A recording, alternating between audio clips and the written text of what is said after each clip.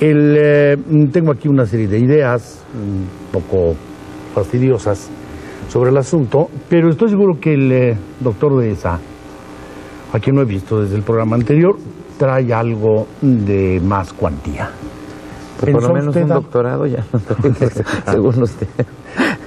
No, yo lo que he estado pensando y que me parece que valdría la pena reflexionar aquí delante del público Ajá. sería que eh, finalmente la frivolidad, que es el tema que nos ha ocupado, eh, es una función del ocio.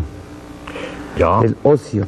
Entonces, yo creo que aquí ten- sería muy interesante platicar un poco acerca de este asunto que es el ocio, porque, porque por una parte es un tema totalmente satanizado. No sé si usted eh, recibió educación en su infancia, tengo graves sospechas de que no, pero, pero si la recibió, usted recordará cómo nos decían que era terrible estar ociosos. Mire usted, yo eh, recuerdo mi infancia como una verdadera plaga Ajá. por la ¿Para los constante prédica en contra del ocio. ¿Sí? No me dejaban estar ocioso nunca. Nunca. A mí A tampoco. toda hora tenía que estar ocupado en lo que yo consideraba que era un montón de tonterías, Sí. pero había que estar ocupado. Entonces había que hacer tarea y le compraron una cosa espantosa que se llamaba Tinker Toy para este, armar unas estructuras que nunca alcanzaban ninguna forma reconocible. Eh, mi pobreza no me llevó hasta el Tinkertoy. No. Eh, yo le ayudaba a mi padre en sus trabajos de carpintería y de jardinería. No sé qué sería el Tinkertoy. Eso debe haber sido cosa para niños burgueses, horribles. Sí, yo no pertenecía tampoco, mi, mi, mi, mi infancia también se dio en los más bajos estratos de nuestra sociedad, pero yo tenía primos ricos y ellos sí tenían Tinker Toy, eran igual de estúpidos que yo, entonces entre todos juntos lográbamos destrozar el, el hermoso Era como juego. aquello que se llamaba mecano. mecano, nada más que era con puras piezas de madera. Ya. Y todo esto era para no estar ociosos, ¿sí? Cuando por otro lado, eh, el ocio yo creo que es el único terreno en el que puede florecer el arte. Sí, ¿verdad? Yo recuerdo Claro. mis lecciones de, con don Edmundo Gorman que nos decía, imagínense a un Voltaire que tuviera, hubiera tenido que trabajar, no hubiera Ya. podido ser Voltaire. Su familia tenía una fábrica de cerámica, él periódicamente recogía las regalías Ah, sí, de aquella sí. fábrica de cerámica y entonces Voltaire se dedicó a ser Voltaire. ¿sí? Es fruto del ocio. En busca del tiempo perdido, el libro que tantas veces hemos invocado aquí, pues es fruto del ocio, como casi todos los grandes libros de la literatura universal. Hay alguien que tiene que, porque además es muy bonito ir al origen etimológico de la palabra ocio ¿Cuál es? y oponerla a lo otro, al negocio, Ah, ya. que es la negación del ocio. Ya, ¿sí? claro. En la vida hay dos caminos, o el ocio o el negocio. ¿Usted por cuál opta? Mire usted, en la vida hay dos caminos que equivalen a eso, Ajá. de los que habla Kierkegaard, que son los ocupados y los preocupados. El preocupado es el hombre del ocio y el ocupado es el hombre del negocio.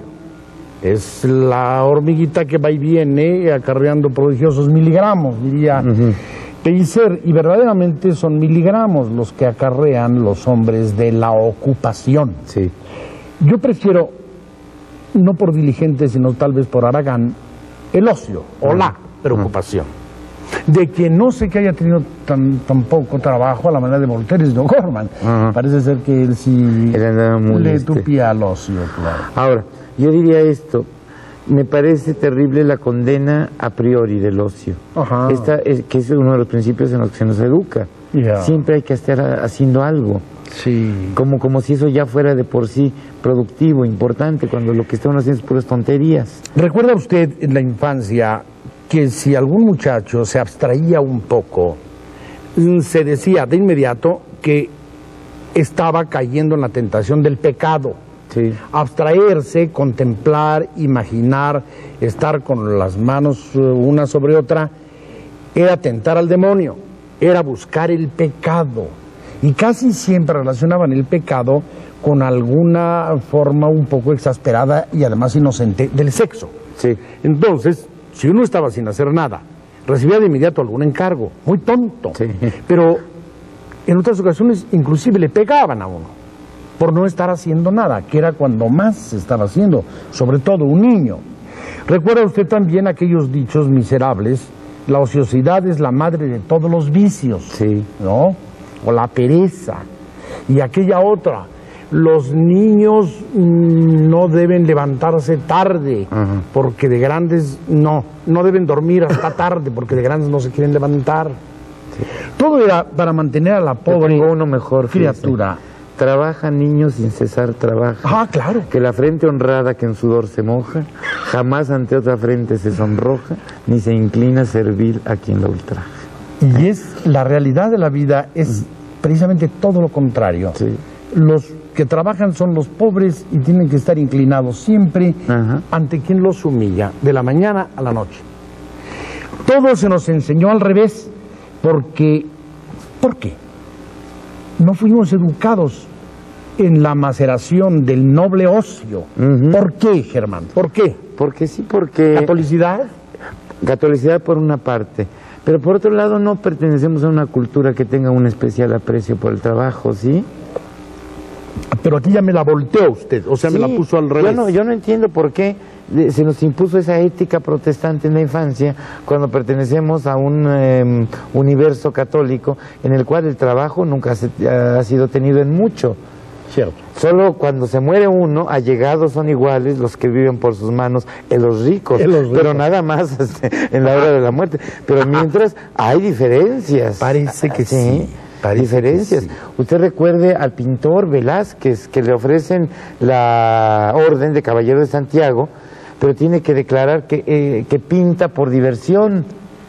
Porque si pintara para, para, para mantenerse, cosa que sería perfectamente lógica y normal en otro universo, si pintara para mantenerse no era digno de ser caballero de Santiago. Es evidente. Porque los caballeros no trabajan. Ese es un dato sorprendente y muy hermoso en la medida en que, mm, claro, es la inteligencia y nos ayuda a ilustrar esto.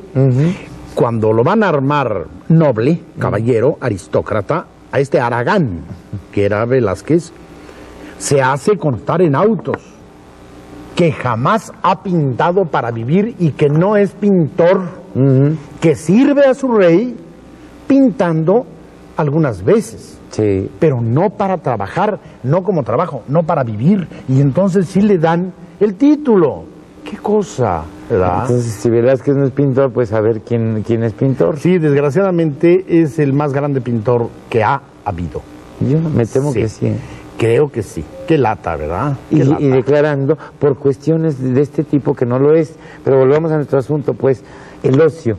El ocio eh, del que recibimos la lección de que es intrínsecamente perverso, por utilizar las palabras de Pío XII, que declaró al comunismo intrínsecamente perverso sin atisbar a Gorbachev en el, claro, en el futuro. Parece ser que prefiguró a, Gorbachev. Está bien. Pero en fin, eh, volviendo al asunto del ocio, nos enseñan eso y entonces eh, ya nos queda una malformación con respecto al ocio. Somos eh, ociosos de un modo vergonzante y de un modo estúpido. Porque hay, hay maneras, hay un ocio muy noble, que es el ocio del arte, el ocio creativo, el ocio reflexivo, el ocio de búsqueda de, dentro de uno mismo, ese, ese de veras engolfarse en todos estos complicados meandros de la conciencia para finalmente saber quién soy, qué estoy haciendo aquí. claro. Y que no nos es permitido ya no digamos por reglas morales, ahora ya ni siquiera por, por leyes laborales, pues a qué horas. Si hay que trabajar 20 horas para más o menos cumplirle a la miscelánea fiscal, dígame usted a qué hora se dedica uno al ocio. Se dedica uno a una especie como de catatonia en la que cae uno cinco horas durante la noche para el otro día volver a jalar la carreta. Ahora entonces hay dos formas del ocio, el ocio noble, el ocio reflexivo y el otro que es el que el caldo de cultivo de la frivolidad. De la frivolidad. Ese ocio mm, dañino, ese odio tan pariente de la haraganería, sería el que no busca finalidad ninguna, ¿No? el que simplemente rompe la ortodoxia, cualquiera que sea la ortodoxia. El que no produce. El que no produce. El que no produce y sí consume del trabajo de los demás. Ya. Es ahí donde, yo creo que es esa zona donde encontramos medrando la frivolidad, ¿no? Mire usted, y viene a cuento, porque de alguna manera casi es noticia, estábamos con Proust y Venga y Dale, que es el gran frívolo que acaba haciendo la obra más importante sobre la frivolidad que se ha hecho en la literatura, ¿no? Se salva él como autor, pero cae en eso como eh, persona, ya. He venido leyendo, sí, por la moda del premio Nobel, sí. Es la primera vez que me sucede de no haber leído nunca un libro de un tío que sale premio Nobel, ahora con el, premio- con el Camilo José Cela. Los libros que usted me recomendó. He leído La familia de Pascual Duarte, por ejemplo, ¿no? Si hay una obra grave en la literatura es esa, de una gravedad casi siniestra. Y yo allí advierto una violenta frivolidad, la del hombre que escribió esa porquería, Camilo José Cela. La obra quiere tener un peso más allá de Miguel de Unamuno Sí. así de seria eh, la, la cosa, la obra, la familia de Pascual Duarte. Es una invención gratuita de principio a fin, de mucha gravedad. Todo lo que ocurre página a página es grave, es horrendo y hasta es abyecto. La frivolidad está en haber inventado con tan escasa imaginación todo eso. De donde vemos que el ocio del artista, cuando no va acompañado del verdadero talento, puede ser una forma de frivolidad. Un camino para obtener el premio Nobel. Un camino para obtener el premio Nobel, que es una forma de frivolidad bastante grave en la literatura de Claro. nuestro pobre siglo. Sí. ¿no? Yo creo que este asunto de los premios en la literatura es una buena señal de cómo ha penetrado la frivolidad al terreno del arte. ¿Quiere usted que sirvan de algo los premios en la literatura, desde el Nobel hasta el de Tlancualtipan, premiado con 14 pesos? Para la literatura en sí no creo, para, para el artista que en un momento dado puede tener un determinado alivio económico, bienvenido, ¿sí? Pausa. A continuar. Estábamos pues con su mm, con su tremendo odio por Camilo José Cela. No odio, desdén. Desdén, un desdén muy digno de Cela, casi para este personaje de Cela. Eh, eh, Está bien, es una- esas vehemencias. Una buena sí. pedrada. No, muy noble, pero buena. Yo con la familia de Pascual Duarte en su momento fue un libro que, eh, que disfruté, que lo... ¿Qué edad tenía usted? Yo debe haber tenido 21, 22 Ah. años cuando lo leí. Se explica. Siga. Eh, Bueno, mm, por una parte. Por la otra, siempre encontré tremendamente convencional cómo este ser que me dice que es prácticamente eh, un injerto de piedra y animal de pezuña, Ah. se puede escribir un libro, porque no es él quien lo escribe, lo escribe un narrador que se le inventa, y ese narrador que se le inventa es ágrafo. Y, y- y si usted me, me pregunta un poco más, es mudo. Entonces dice uno, ¿de dónde le salieron tantas palabras? ¿De dónde le salieron tantas razones? Porque mire, ahí hay una contradicción esencial en ese libro. Ese ser mata porque no puede hablar. Ese ser mata porque no tiene ya otro, otra forma de manifestar su presencia. y Querido su amigo. Vinculación con usted. Espérese un momento. Yo lo, lo dejé llegar hasta el final de su eh, alegato. Entonces, porque además estoy, estoy a favor de usted. Venga, venga. Entonces, este ser perfectamente mudo, que solo, que solo eh, se expresa y se comunica con su prójimo mediante la violencia, solo te aviso que te, que te tengo afecto matándote, va a llevarlo a su último extremo, luego escribe una novela. Una novela que no quiere ser novela, son simplemente supuesto o supuestamente recuerdos deshilachados. Declaraciones. Pero está perfectamente armada y es un hombre que está en el español y que conoce bien, ¿sí? Y que se ha nutrido mucho en los jugos de la picaresca española Uh, uh. y de toda una larga tradición prosística de España. Un hombre que además ha caminado toda España y ha oído, ha oído. Y Cela tiene oído, por Oído más que usted no lo quiera. No, oído sí tiene. Entonces, eh, lo que hay ahí es una especie como de tinkertoy dramático, que no acaba de eh, tener una determinada eficiencia, Ya. ¿sí? Hace una construcción como aquellas de la niñez, Ajá. Leñe, a la que uno de repente no le encuentra pies, ni cabeza, ni principio, ni finalidad. Ahora, Ah, muy gratuita. yo creo que ha envejecido lo suyo. Es una obra posfranquista, quizá el único libro importante del posfranquismo. No, no, no del, pos- del, del franquismo puro, del franquismo puro, es decir, quiero posterior a la Guerra Civil Española. Sí. Cela militó en el franquismo y de pronto se encuentra con que todas las grandes promesas y toda esta, eh, todo este cielo en la tierra que el franquismo había prometido, no hay tal. Hay una miseria y hay un eh, odio ancestral que Sí. eh, está en el campo. Y un poco el libro pretendería ser la cifra de eso, si lo consigue o no será otra cosa. Pero es uno de los pocos libros que le salen al paso a este mecanismo de propaganda franquista en donde todo el mundo era feliz en España por decreto y por obligación. Eso está bien. El otro libro sería Nada de Carmen Laforet, que eh, cumpliría también ese, eh, ese objetivo, No, nada más que se llevado al terreno de la familia en el medio urbano, en Barcelona.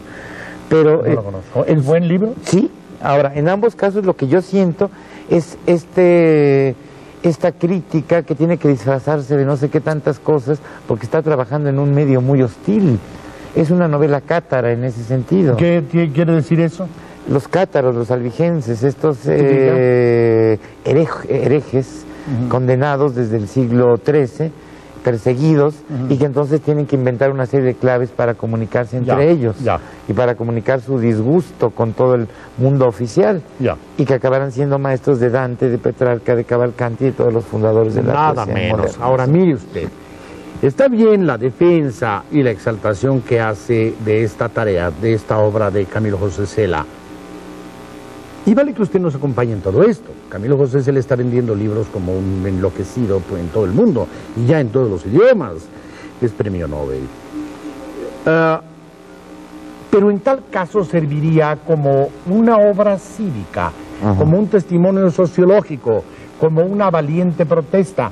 Donde yo me pronuncio violentamente en contra de Cela es en su falta de imaginación, un poco a la manera de Unamuno. Ese hombre de tan escasa imaginación que era Unamuno. Ajá. Las cosas ocurren porque Unamuno las dice a la española, pisando fuerte, porque sí, porque le da la gana. Y las cosas no ocurren en la vida de este modo. Mire usted, en la existencia diaria las cosas ocurren y quién sabe por qué. Ahí están y se dan. En el arte de la literatura las cosas deben transcurrir conforme a, a la lógica secreta, que suponemos que es como las maneja Dios Padre Todopoderoso, ¿no? Deben transcurrir como el revés de la trama, de la vida misma. Ahí está el genio del escritor, si lo es de veras. El personaje Pascual Duarte en la obra de Cela tiene una madre que es un poco prostituta, un poco muerta de hambre, un poco ácida, un poco una bruja, poco idiota. un poco idiota y que es sumamente imprudente. Y de un momento a otro, de, verdaderamente de un renglón a otro, el personaje comienza a sentir impulsos muy negros de matar a su madre. Ay, en el sí. siguiente renglón ya la mató. Leñe, las cosas no pasan así en la vida. Ay, pero ¿cómo no? No. ¿No lo ha sentido usted? No. ¿No? No. Bueno, yo con respecto a usted, que es una figura paterna, siempre sentí.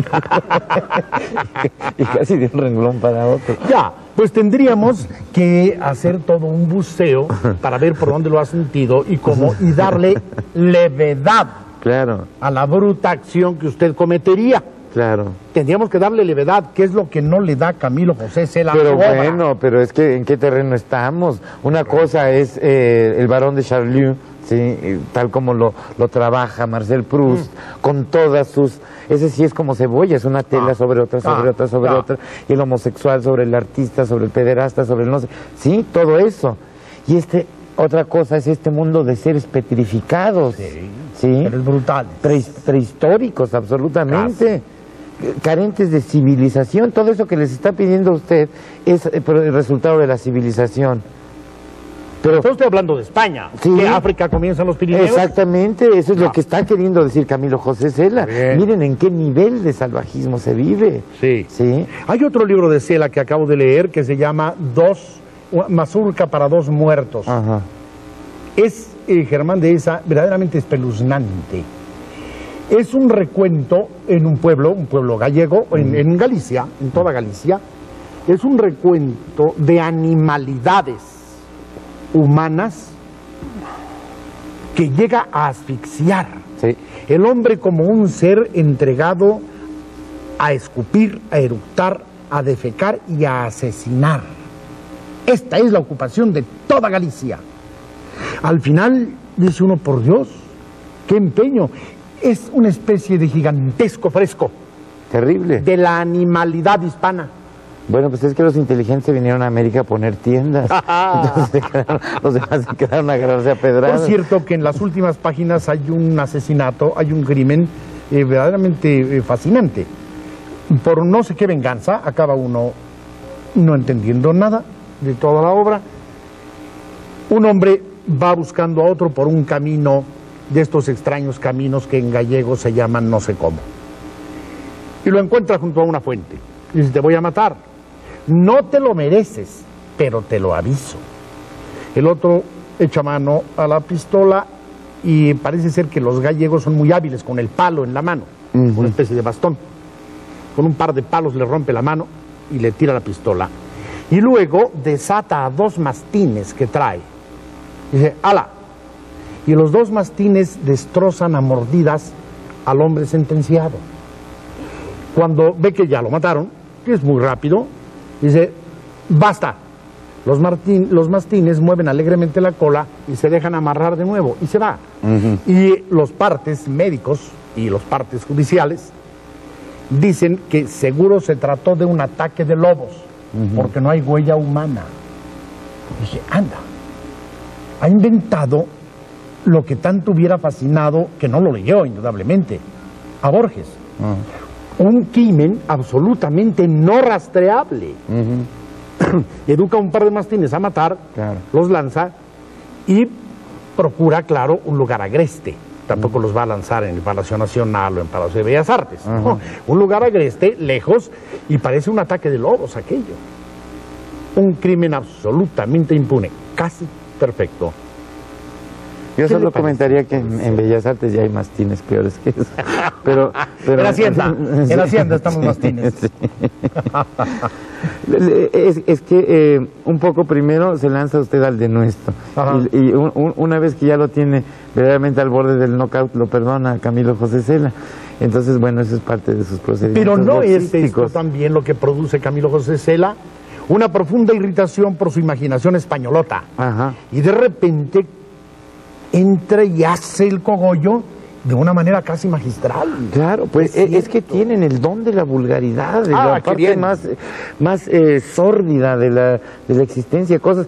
Bueno, hasta, hasta vea, vea el, el- el tono en el que habla un español y las palabras que se usa y que se permite usar y que nosotros, descendientes de ellos, no usamos, Yo no soy descendiente de ellos. ¿no? No. Usted de, qué se- Azteca puro. Azteca puro. No, sí, otomí. le ve- Soy indio otomí. Sí, caballero ocelote. No, no, no, descendemos de ellos, don Ricardo, sí. Y, y sin embargo no tenemos esa, ese, ese pan No. pan y ese vino Esa vino que ten- tendencia sí. lépera no la tenemos. No. Usted Para bien y España, para mal, sí. Bueno, la primera vez que yo fui, me dolían las orejas Ajá. de oír hablar a esa gente. Ya por Dios, qué manera tan ordinaria, tan chata y tan brutal de usar el idioma. Sí, espanta un poco, sí. Yo estaba eh, rumbo a Ávila, iba yo a conocer la ciudad de Santa Teresa, sentado en una estación de tren, llevaba tres meses fuera de mi patria, tenía yo este tipo de, de angustia, de angor que le entra un mexicano que lle- lleva tres meses sin ver sus volcanes. Recuerde aquí de Azteca, Sí, por eso sí. no fue campeón mundial. Estaba yo tirado en calidad de fardo ahí en una banca, pasa una pareja de campesinos, se me quedan viendo, la campesina que llevaba una canasta se me acerca, toma dos manzanas de su canasta, me las pone en las manos y me dice, ande, no esté triste. Ah, ¿Sí? También eso es Ah. España, también eso es España. ya. Gracias a la ortodoxia